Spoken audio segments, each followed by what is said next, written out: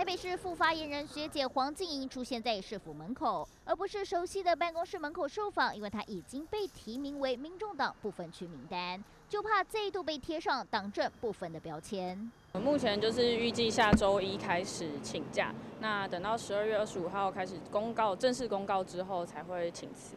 下周起就会开始请假专心拼选战，不过市府内列民众党不分区的名单可不少。第一名果然就是柯文哲力挺的劳动局长赖香林，第二名则是中山大学政治经济学系特聘教授张启禄，第三名是红海工业大数据办公室主任高鸿安，而市府顾问蔡碧如排名第五，星光人寿大千金吴新莹排名第七。至于台北市府副发言人学姐黄静莹，则是排名第十三。民众党企图用学姐人气冲不分区。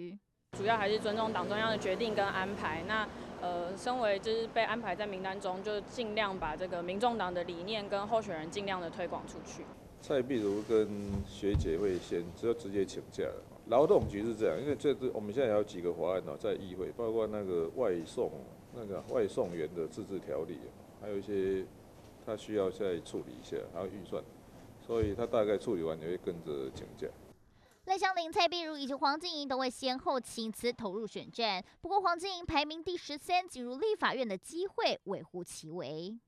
对，待业中，然后去全台湾寻找工作这样子。后续陆陆续续都有一些全台湾的候选人，不管是区立委，都会有一些浮选的邀约。那扫夜市或是站台这些活动，都可以陪着候选人一起加油。现在预计有实习吗？没有啦，我们是这样的，我们一定要。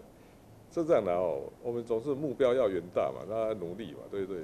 你不要说一开始就说啊，他可能只有三级啊，怎么会说我没志气呢？我记得当时好像平均年龄是四十点五岁了，这个这个足足比其他党少了二十五岁。